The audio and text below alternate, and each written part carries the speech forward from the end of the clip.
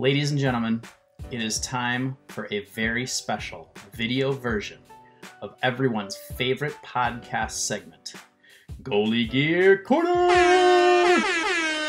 I am very excited to do this Goalie Gear Corner with you on video because it is my Goalie Gear Corner. I have a brand new custom mask that I'm so excited to share with you. Now, if you've ever listened to our podcast before and you listened before the Seattle hockey team decided to call itself the Kraken, you may have heard us refer to the team as the Crap Weasels. So, the whole idea was no matter what they called the team, we were going to root for them, right? Because we're Seattle fans, we've been rooting for them forever. Didn't matter what they were going to call it. So we just didn't really want to talk about the team name all that much. So our filler team name was the Crap Weasels.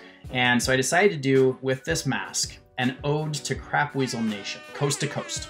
Now I used to live in New York City, so on this side of the mask, you have New York City, right? Uh, you have on the Empire State Building a narwhal, which represents my beer league team, the Fighting Narwhals. You might recognize that it's kind of like an ode to King Kong, right? Remember how he climbed the Empire State Building in the movie?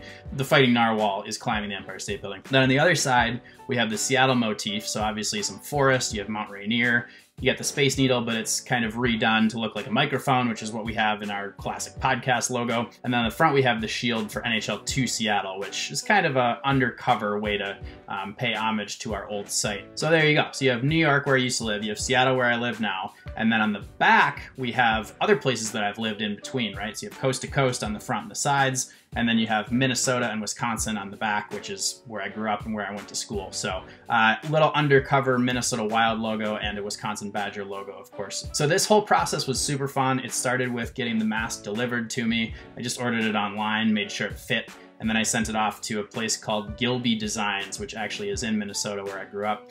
And the artist there, his name's Eric Gilbert, so he was awesome. It started with this picture, and then I sent him some really rough, terrible sketches, and he sent me back some digital mock-ups. We went back and forth a bunch of times until I was happy with the design. And then finally he painted it, sent it off to me, and voila, we have the mask. So uh, this is it. An ode to Crap Weasel Nation is what I'm calling it. Thank you so much for watching this video. Thank you for reading our content on soundofhockey.com. Thank you for listening to our podcast, and I look forward to talking to you again very soon.